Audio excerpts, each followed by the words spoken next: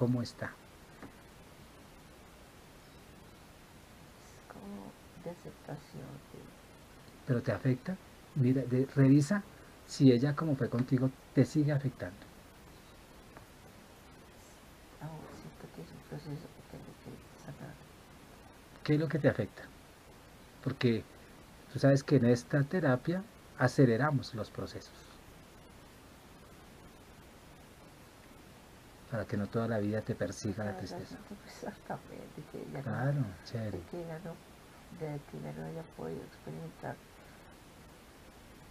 los, las emociones que uno siente al, al lograr tantas cosas. Pero seguiré ayudándola. Sí. Ella ¿Por qué te afectó tanto la mamá a ti? ¿Compartió muy poco contigo? En realidad no sé. Pero. ¿Tú con quién vives ahora? Con ella. Con ella, ¿cierto? Pero es como el idealismo de creer que. de que un niño se merece una mamá que haya, que haya pasado por procesos por los cuales yo estoy pasando. Y cuando tenga un hijo le puedo dar un mejor ejemplo. Pero ella no logró hacer eso. Entonces tengo que aceptarlo. Y eso me va a dar paz. Pero ella te abandonó mucho. Es, que yo creo que sí. ¿Cierto? Es que yo no tengo casi recuerdos. Pero sí, sí, me abandonó. ¿Y sabes por qué no lo recuerdas? ¿Por qué? Porque tú, a ti te impactó tanto eso que creaste un mecanismo de defensa que fue olvidar. porque sabes que eso es duro. Uno de hombre necesita a su mamá, ¿cierto? Y uno desea un abrazo de la mamá. Y una niña del papá, aunque uno quiere los dos. Pero uno de hombre la mamá es súper importante. Fue tan... Yo te estoy leyendo lo que, lo que me llega respecto a tu mamá. Ella fue muy fría contigo. Ella se pensó más en su vida, en sus emociones, que en los hijos, ¿cierto? Y los abandonó. Y los entregó a tutores, que entre ellos está tu abuelita. Entonces, vamos a hacer un ejercicio de psicomagia. Ahí está tu abuelita. Ella es la mamá de tu mami, la que te ayudó a criar y cuidar. Al frente está tu mami. Deja entrar a tu mamá en el cuerpo de tu abuelita. Donde los dos son uno, porque somos hechos a imagen y semejanza. Tu mami fue tan buena como tu abuelita. Lo que pasa es que por una experiencia que tuvo, se volvió así. Ella no nació como tú la conoces de radical. En este momento vamos a ayudarle a tu mamá también a que sane cosas. Entonces, tu mami es buena como tu abuelita, afectiva como tu abuelita, sino que cogió un rumbo por una mala experiencia. ¿Cierto? Por eso los abandonó, porque ya fue abandonada por alguien Revisa por quién fue abandonada.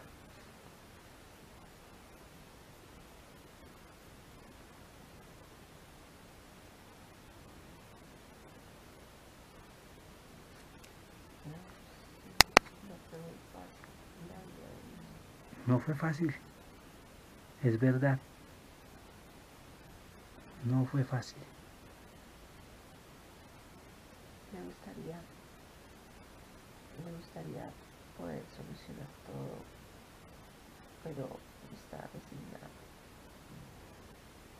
Solo quiere que la acepten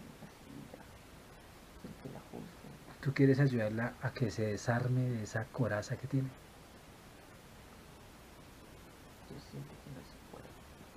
¿Por qué no se puede? ¿Por qué no lo permite ella? Sí, ¿O porque tú también tienes una coraza? No, ella no me permite. Si tú la abrazas, ¿qué pasa?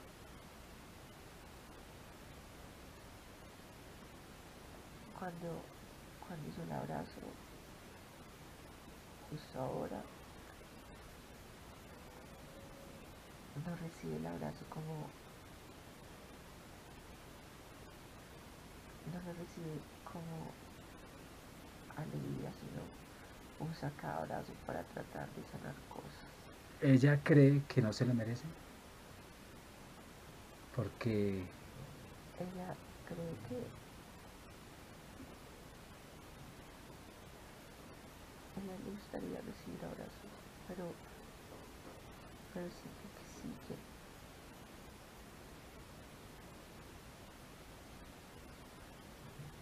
que, que está sí está cerrada, está con la coraza sí. pero pero sí pero si le da un abrazo. Lo toma como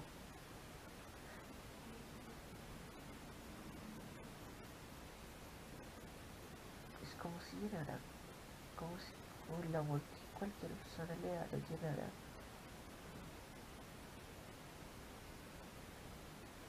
lo usara para llenar algo triste que tiene Mm, Pregúntale, entonces no pregúntale y le ayudamos. Ella le llega amor, pero a veces como que dice, no, eso no es para mí, no me lo merezco. Nunca he dado amor a dar. no no a ella le falta mucho amor Entonces llénala de amor. Dile cuánto la amas. Dile que el pasado ya no existe.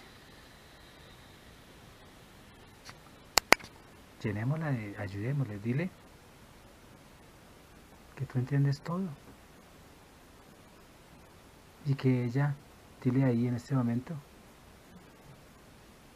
que tú como hijo estás ahí con ella porque tú la escogiste como mamá para ayudarla. Que por fin entiendes ahorita por qué eres hijo de ella. Porque llegaste para ayudarla. Porque todo su pasado, en esta vida y en otras vidas, no ha sido muy triste, muy feliz. Y ella te llamó. Porque sabías, ella sabía que tú y tu hermana son para ayudarla. Dile, exprésale todo ese amor. Dile que tú eres una extensión de ella en la nueva versión para ayudar. Y tú eres parte de ella. Eres ella. Pero ya con conciencia. Y llénala de conciencia. Mira si en el cuerpo de ella hay algo muy oscuro. Es triste. Pregúntale si ella quiere dejar esa tristeza.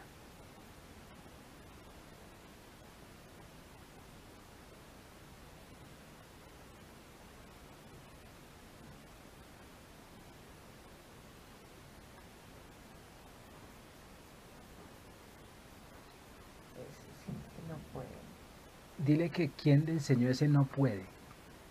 Porque es un concepto. En el espíritu sí se puede todo. Hasta pasar paredes. Hasta tumbar muros como el de Berlín. Hasta ser héroes. Hasta ser el propio amor. Dile que quién enseñó eso.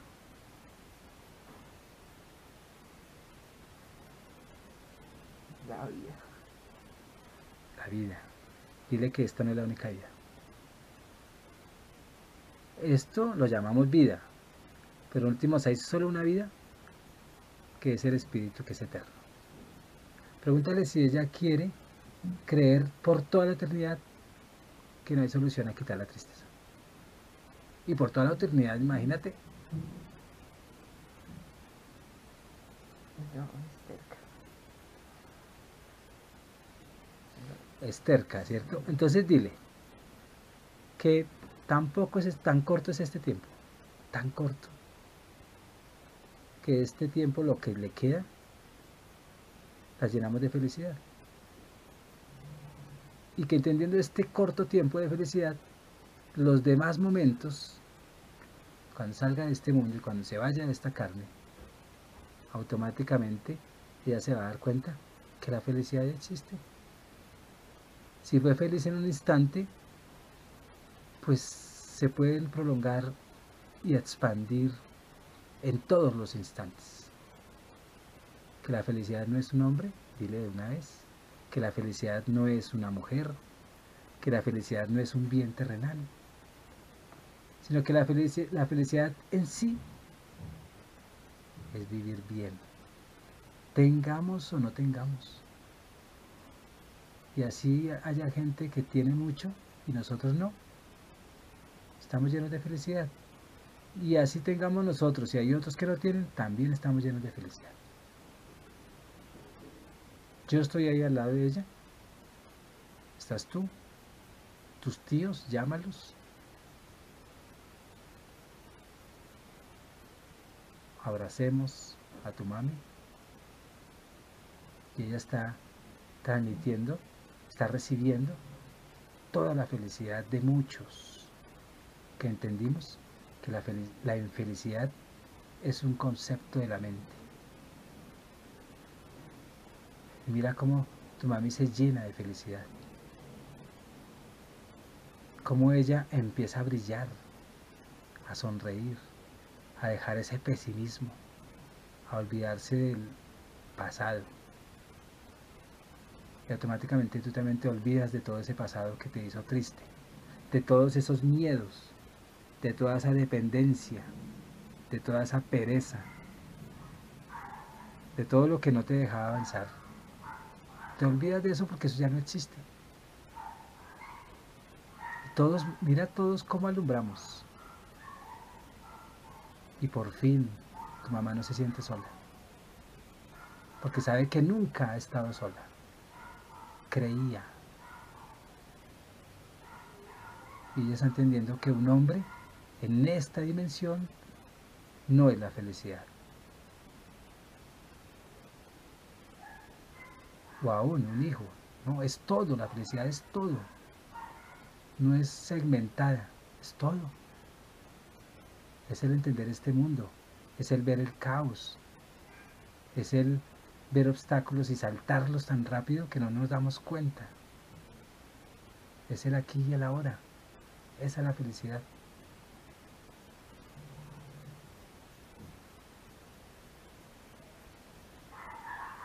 Yo veo a tu mamá mejor, tú como la ves.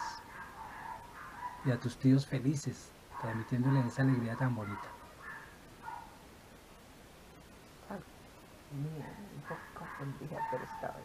Eso, que deje el racionalismo. Que deje que las emociones lleguen, las buenas, que el alma se llene de alegría, que el espíritu resucite, que no importa si lo entiende o no. Son procesos que están sucediendo. Tan rápidos que son milagros.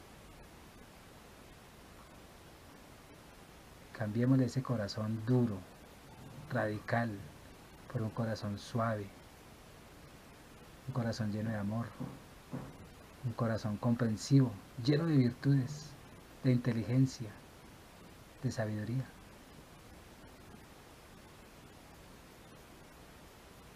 Y tus hermanos también están ayudando a transmutar todo lo que ella no quiso entender en algún momento, pero ahorita lo entiende.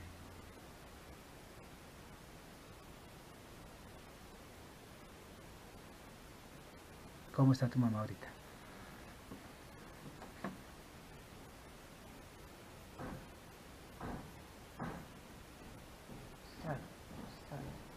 Eso. Ahora sí, abrázala. ¿Cómo recibe el abrazo? Todos estamos abrazándola.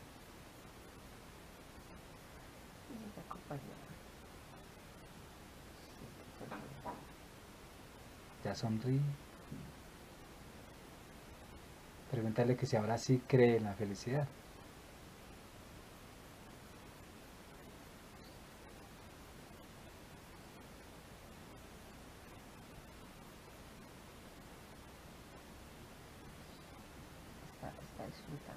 Que la disfrute y que siempre la va a disfrutar de ahora en adelante.